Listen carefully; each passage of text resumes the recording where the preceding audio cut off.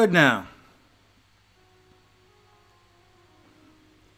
Switched over, had to switch over to OBS because apparently Streamlabs still needs some work.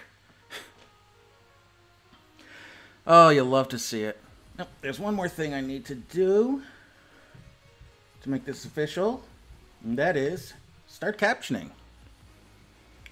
This way, if people want to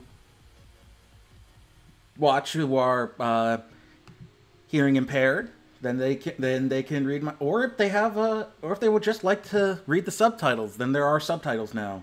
I have no idea how good they are, but I'm trying. Mm, pardon me. And I wanted to get a quick stream in before I had to leave for work uh, because I missed last week due to the eight-hour birthday stream that was intended to be 12 hours. And in the meantime, I did watch a couple of new movies, so I have a much more robust review slate here. So let's head on over to the theater room and switch up the poster. Because the first thing we're going to be talking about is Dune. Uh, I had never really seen the uh, 1984 Dune. I still haven't read the book. The uh, I have seen like numerous uh, numerous um, reviews of the movie, and so I've gotten an idea of the storyline from that. Because there, you know, people will compare it to the books, and then, um, you know, the the, the storyline's fairly much the same. Uh, this time around, we got Denis Villeneuve, uh, who I know many of you know probably from Arrival, but he's also done Prisoners, and there was something else. There's something else he was doing. Oh, I also do want to make sure I have the right info.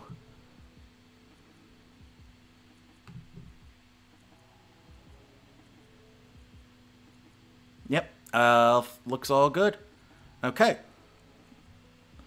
Uh, I he's probably I know him best from uh, Arrival and Prisoners, but he's been an indie darling. I'll call him. I think that's a fair assessment. Uh, he also did Blade Runner 2049. Uh, oh, he's Quebecois. I did not know that. Quebecois? However you pronounce it. He's from Quebec. And um, he also directed Sicario and the Jake Gyllenhaal movie Enemy. Uh, he has he has had some, I believe, French language movies before. Because he had, yeah, he had, apparently he directed. He's been directing since 2000, at least. Uh, his first major motion picture, like his first feature length, seems to be in the seemed to be in the 90s. So we're just now seeing him bud into Hollywood. He's been making uh, French language films for two decades. at least at least almost two decades, 15 years. Uh, but yeah, Villeneuve is an interesting director. He's very much an artiste, not in the, not in the negative way where it's like he forgoes story for visuals because he's been able to tell really solid stories but makes great use of the visuals. And i think this dune actually kind of works for him.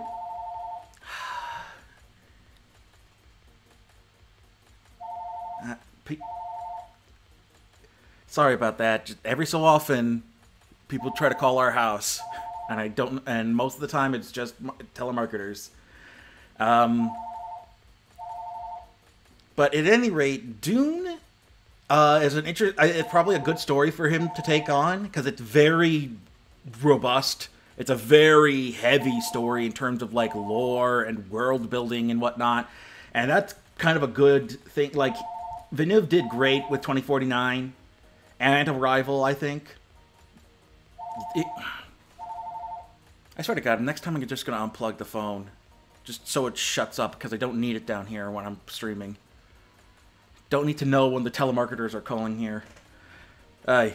Um, but yeah, Villeneuve I think was a good fit, and the cast here is just top tier because we've got uh, Paul Paul Atreides being played by Timothée Chalamet, you know, very indie favorite actor. I think he does better. I think he does well here for a Paul. He definitely does better than I've seen Kyle MacLachlan do as in the role. I think, and and we're really going to see Paul step into his own uh, in future installments because this is done well enough that I think they're going to keep going. But I'll get into um, that in a bit. But we got Rebecca Ferguson as his mom, uh, Jessica Atreides, Oscar Isaac is Duke Leto Atreides, Jason Momoa is one of the uh, security team, Duncan Idaho. You've got Stellan Skarsgård as Baron Harkonnen, which is great because he gets to be all fat and bloated looking and float in the air all the time. Uh, Josh Brolin is the role that uh, that uh, Patrick Stewart played in the in the '84 movie. Gurney Halleck, the uh, he's another sort of security uh, team leader, and even, and even going down to like character actors, you've got um, Stephen McKinley Henderson, uh, who who has been in things from Lincoln to Fences to Ladybird. You know, you've seen his, you know his face. He's a, he's got a distinct look about him. He's a he plays the advisor to the Atreides family. You got Javier Bardem as the leader of the uh, Fremen, and then you've got uh, Dave Bautista as Beast Rabban Harkonnen, one of the sons, and uh, Zendaya as Chani. But we'll get into her in a bit. The thing about this movie is, it's a lot. It's over two hours, I think. I want to. Is it? Is it two hours or over two hours. Two, thir- two hours, 35 minutes. And yet, it's not the full book. Kind of a spoiler, but if you've read the book, you'll watch the movie and be like, that's not the whole book. That's we're not even done yet. There's that's kind of my biggest issue with it is that we don't get the full story. But that means that part 2 when it comes out because I'm assuming he probably filmed them Lord of the Rings style back to back and then just cut them into two parts just for time's sake, rather than to try and cram everything into like a three hour movie. And that means next the next part is going to be the climax, and it's going to be the it's going to be absolutely insane as we see Paul rise into his own and whatnot. But here we get a lot of build up and we got a, we we get a lot of a lot more introduction into the world of Dune. We get to you definitely get an understanding of the political layout, the fact that the Atreides know that they're going into a trap by accepting this position, and that they know that they also can't refuse it either. And then the assault on the capital of Arrakis, where they and by the Harkonnen, is absolutely brutal to watch. It, it Villeneuve you, makes great use of the visuals to make that assault on the capital look just, just, just sad, just depressing, as you know, it, it, as it should, because it's a destruction of an entire you know, it's an assault on a city by an army. It should look terrifying. But um, I, I, the cast really enveloped their roles. Oscar Isaac is great as Leto. Uh, Rebecca Ferguson is great. I couldn't remember who she was. I didn't know if I recognized her from anything else. Uh, but she is fantastic as Jessica Atreides. And Javier Bardem is has only a couple of scenes as the leader of the Fremen, but he's great. He's fan- I didn't even know he was going to be in the movie, honestly, because I didn't see him advertised. I saw more bits of Bautista than I did of Javier Bardem. But yeah, both everybody in here does great. Even the character, even the actors you don't recognize or don't know, like um, the ones playing uh, the doctor who work who's there to help them uh, to help who becomes part of the uh, the Fremen in, in in order to study the planet. Uh, she, she's pictured there on the poster next to Momoa. I, the actors playing like the Herald or the Reverend Mother or the Emperor. All like every actor in this movie does a good job in their role, and even like even though some of the characters don't get to do a whole lot because they're featured more in the second half of the story they are the actors still do fantastic in their roles. And i think with the with for, with almost 40 years of tech advancements we definitely see what some what the original film tried to do because if you've seen the original film you'll recognize things like the the light shield like you know all like these various different uh, effects that they tried to do. Uh, it's interesting because they downplayed the um, the box because I remember in the first movie the, the the whole box where Paul has to um, ha- he has to stick his hand in and never show fear. It's actually smaller in this. Okay, no, I'm thinking of something else. I'm, you know what I'm thinking of? because the box is about the same. The one in the movie is a little bit smaller. It's like half the size, but same thing. Okay, it's same thing. What I'm thinking, I think I'm thinking of the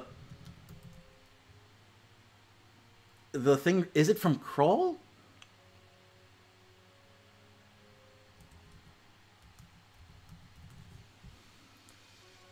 Nah, what what movie was that from? There was like a there was a there's a sci-fi movie that featured this thing that you stuck your arm in and it was supposed to like either test your will or something like that.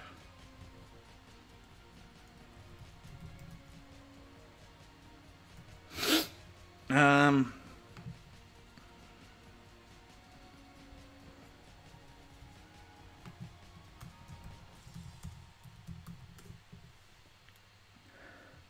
I have no idea. It'll come to me at some point. But um yeah, so the so the yeah, the you'll recognize bits and pieces if you've seen the first movie, the the one from the 80s. You'll recognize a lot of the same stuff, but they're able to do it with a bigger budget and expand more on it. We get to see more of Arrakis and understand some of the ecology of it, like the fact that the Harkonnens brought over palm trees and and they're forced to try and keep the palm trees alive and uh, yeah, we get to you get a little t- hit, a little more taste of the of the politics going into it, but it's hard, but it's so subtle that a lot of people aren't going to notice it. They're not going to understand the um, the um you know the the vaster implications of it just because one it's hard to get into politics in general for for a lot of people and two you throw in fantasy uh, elements and it's harder it's even harder to get involved. And every, and for this and in this particular case he plays everything to the you know to the vest close to the vest. Nothing's very broad or cartoonish or over the top but but I do think it's a very well handled uh, take on the material, and I'm very interested to see what he does in the in the second part of it. But what we got was still it looked absolutely gorgeous. The he made great use of the of the desert landscapes and of the sand and of the and uh, of the aesthetic. The aesthetic looks weird and and neat. Uh, like their weird like water suits that have to take that take their sweat and uh, water droplets that they breathe and recycles it so that they don't lose water. It's all very interesting stuff. Uh, the spice itself is like is showcased in the form of these little sparkles that happen in the air. Just they're just, it's just floating around. It never really it it doesn't really get into the fact that spice is essentially an allegory for oil, but it definitely emphasizes the fact that the Atreides know that the Fremen are the indigenous people of this planet and they're being exploited by the Harkonnen. And that's going to be interesting. And the only the only concern I have is something that stems all the way back to the book, and that is Paul's place as a white savior for the Fremen. It's emphasized more now because it's a much more diverse cast of characters. Like the Fremen are much, you know, there's a lot more um, non-white actors in the movie in various roles, and the Fremen themselves, from the book and from the names, all take inspiration from Arabic and various Middle Eastern uh, areas. So Herbert was very on the nose with the fact that this was basically an allegory for America and Britain, uh, British involvement in the oil drilling process and taking a resource from its indigenous from its native people. And it's very curious to I'm going to be very curious to see how Villeneuve handles the white savior motif in the next part cuz that's when it's going to really come into play. And he may be able to handle it, play it off and make make better use of it by maybe downplaying Paul's role as like the savior. Maybe it's like he is their savior because they believe in this religion and Paul accepts that and is more willing to just assist them. But I don't know. It's going to be interesting the way to in, in, to see how Villeneuve handles that sort of trope, just because it's it's part and parcel of the story. You can't tell the story of the first Dune book without dealing with the white savior trope. I mean, you could. You could make Paul non-white, but even then, it's still kind of like the outsider saving the indigenous people from themselves. It, it, that's always been a bad trope, even going back to like stuff like Dances with Wolves or or Avatar. It the movie, the cat movie, not the not the Airbender, but yeah, I'm very excited for part two. Dune is Dune is very quickly leapt up in my one of my favorite stories and the only reason I don't absolutely love it is because it's only part of part one of the story. I need to see the other part to know, in order to know how to feel about both. So we'll see how part two goes when it comes out. It also turns out that I could see another theatrical release in at home because Dune was on HBO Max. Halloween Kills was on Peacock. I did not know this until I until I took I saw it being advertised, but apparently Halloween Kills is over on Peacock Premium. Remember Peacock? It's NBC Universal's streaming service, and it's where they took The Office off of Netflix. But I think it's starting to come along. I'm gonna check out. I'm, I'm gonna check it out again now that I have a month premium because I had to re- had to pay for it in order to test out, um, in order to go see, in order to watch uh, Halloween Kills because I had already used my um, my my um, what you call it uh, trial, my trial week, and I didn't feel like trying setting up a whole new email just to get another trial. But Halloween Kills is the direct follow up to 2018's Halloween, and it's interesting. A lot of the same uh, people, David Gordon Green and Danny McBride, are back behind the camera. Jamie Lee Curtis is back as Laurie Strode, and a couple of the original actors from the 1978 movie are back as the survivors. And plus, you got Anthony Michael Hall as a new character. He plays a, a town member of the uh, of uh, what is this place called? whatever whatever the town in Illinois is uh, that they that they that they live in. He's uh he's another survivor, and he he wasn't direct. You know, he's another guy who's like friends with the survivors, and he's very much not into the idea of falling into the fear of Michael Myers. And um, it starts right at the end of the first move of the of the last movie where they set the house on fire, but we see that the fire department has come and EMS has all come to to put out the flames instead of just letting it burn and killing Michael. And we see that Michael got his way out and just starts going on a slaughtering spree.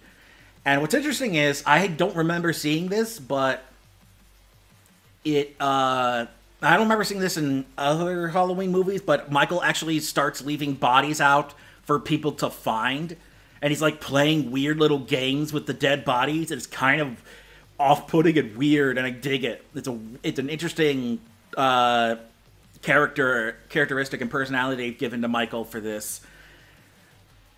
And then they also flash back. They start off by flashing back to 1978 and showcasing, you know, some of Michael walking around uh, before he attacked Laurie, and then even and then had a confrontation with the police before being captured.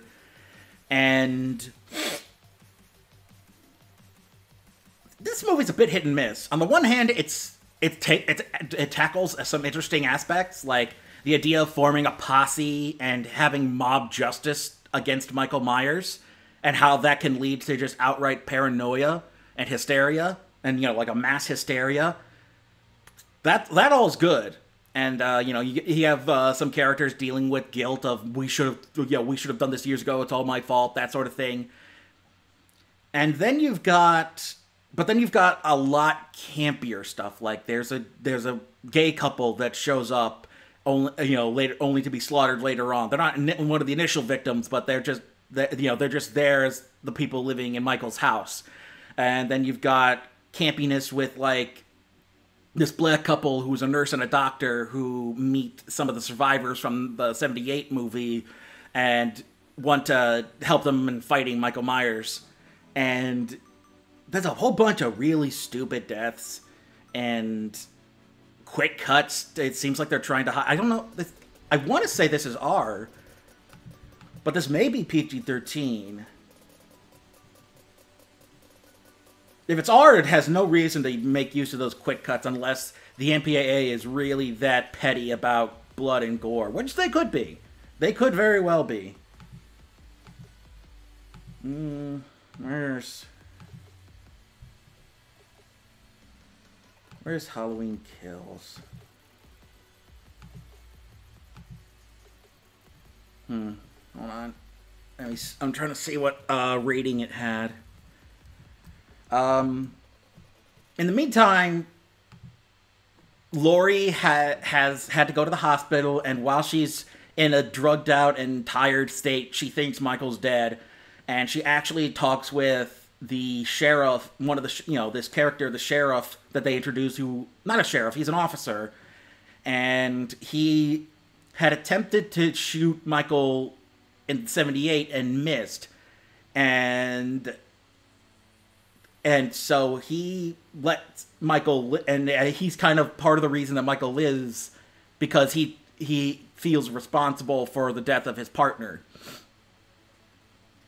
and you got Judy Greer returning and Andi uh, Matichak returning as uh, Laurie's daughter and granddaughter.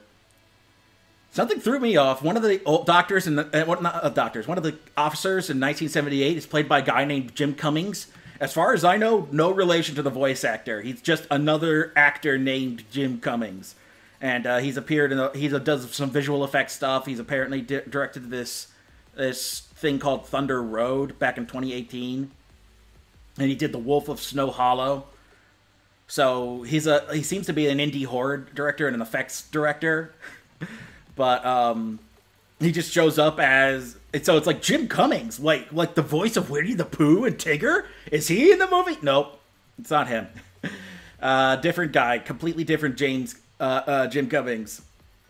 No, it's an R rated. So yeah, there's no reason for it to have these really stupid quick cuts to try and hide the violence, unless the MPAA said that's too violent, as though we couldn't handle it.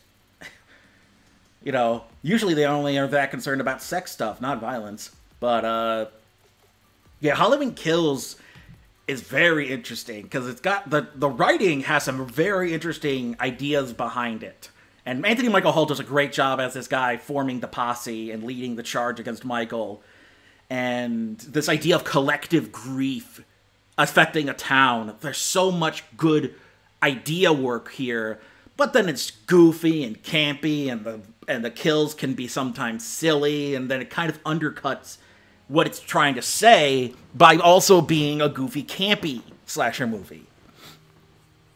So I think it it struggles a bit between wanting to be taken seriously and going some darker and more interesting areas, and wanting to be a goofy, campy slasher movie. But I think it handles it overall. Both both both parts work well. and it's just a matter of making the two work together that it doesn't quite uh, make the you know doesn't quite do well. But the parts individually are all solid. If you like the last Halloween movie, I have no doubt that you'll probably get uh, enjoy the hell out of this one. It really, I think it honestly is one of the better entries in this franchise, just because of, it, uh, of the interesting places it goes and the things it does. You know, especially with the posse aspect and the idea of people outside of Laurie suffering from Michael's. Well, people outside of Laurie and like like the town in general. Although I haven't seen the the older the other movie, so maybe that is a thing. But yeah, I really dug Halloween Kills. The last two I'm going to cover are from Netflix.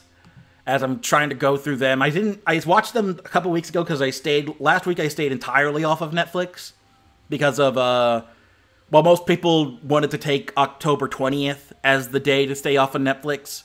I just took the whole week because one, I don't really watch Netflix anyway, and two, uh, I you know, if I'm to show solidarity that way, I'm to do it more than just a, a, single day. I feel like that's more appropriate than just, hey, let's take a single day off. Why not more? Well, because we don't want to miss anything.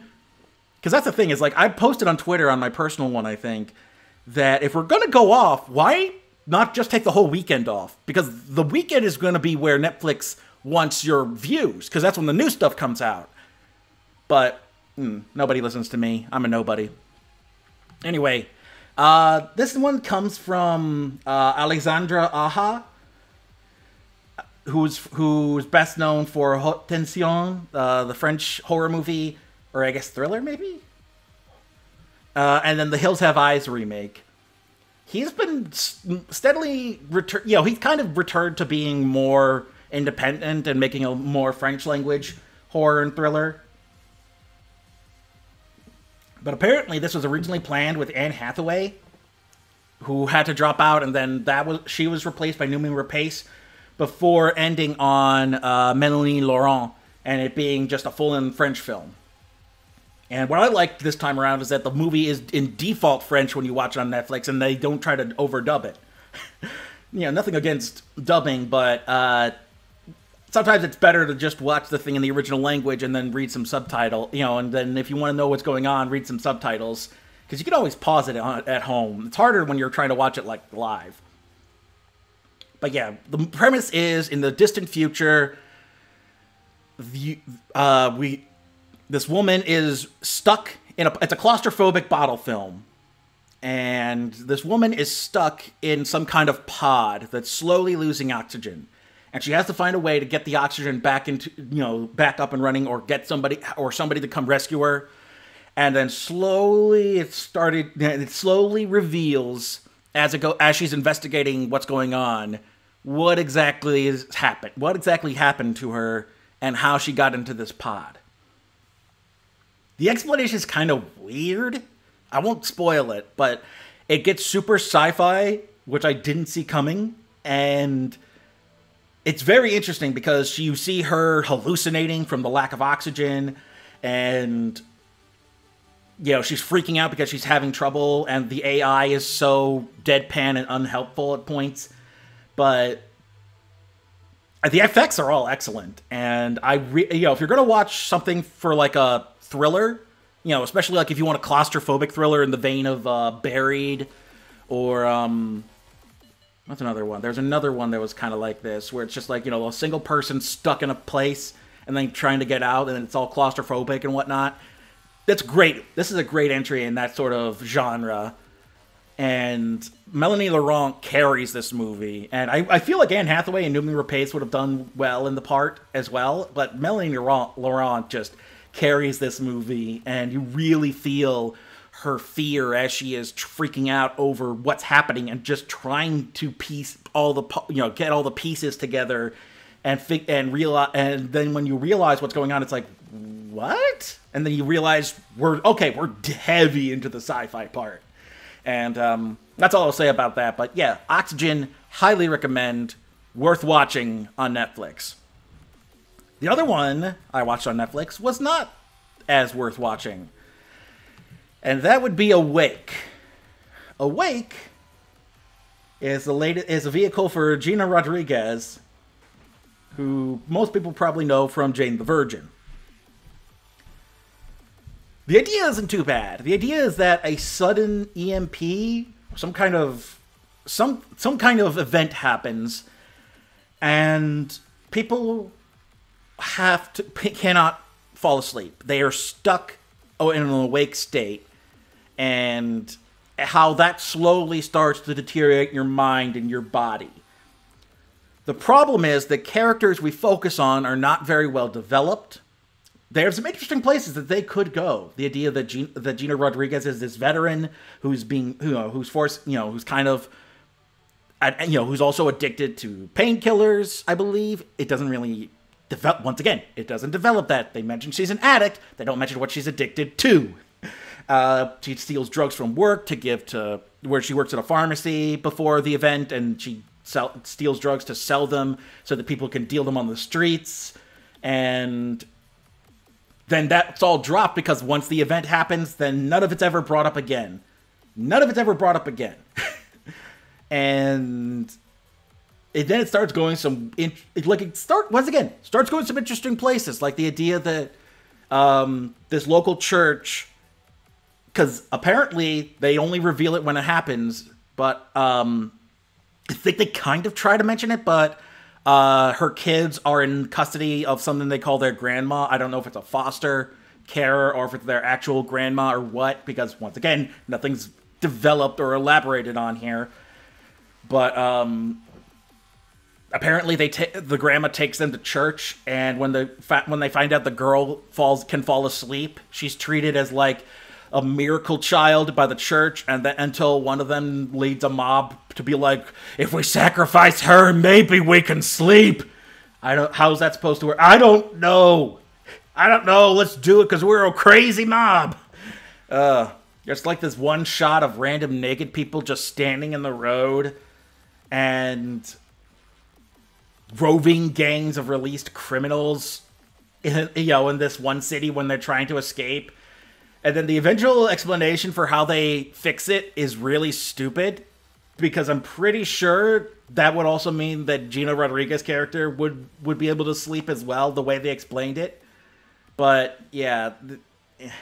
everything about this would only work in a movie that has better writing. The writers here never really explored the implications of what they're talking about. Like they want to talk about how the brain kind of, you know, the more you're awake, the more your brain starts to, you know, struggle to keep things running and how it, and how your physical body will start to deteriorate. But then none of that's really seen. It's only mentioned. And then it's more often than not, it's just people going crazy from lack of sleep. Um, and once again, the idea that nobody could fall asleep except these kids would be a good would be a perfectly fine premise except the writing isn't there. Like I had my complaints with Bird Box. This is like an even worse version of Bird Box. Like if you liked like you could reasonably enjoy Bird Box even though that's kind of stupid the way they handled the premise. Awake isn't even as good as Bird Box and I didn't enjoy Bird Box that much. I thought it was kind of stupid. But Awake is just you know, we have a cool idea. What should we do with it? Absolutely nothing. Great. Fantastic. So, yeah, I don't I, I, I don't really see this as something you should check out. Like, there's way better. Like, you'd be better off to watch Bird Box than this. There are way better attempts to try and tell this sort of sci-fi story of like a, a an apocalyptic event happening that don't involve th- this kind of you know weak ass writing and the acting is all is not, isn't very good throughout the movie. Nobody's very good in this movie. Not that they're given much to deal with and do you know to work with anyway. But yeah, Awake is just not a very good movie. I'd say just skip it. You're fine. You're better off watching anything else, really. But yeah, uh, I'm gonna try and get some more. That should do it. So I'm gonna try and get some more of the uh, of my catch up list done because I've got a whole chunk I still need to watch on Netflix. I've still got like a dozen at least on Amazon and then on Hulu, And now that I have Peacock again, I need to see what's on Peacock. Uh, so yeah, I will be trying to catch up still on on at least some of the bigger stuff from 2021.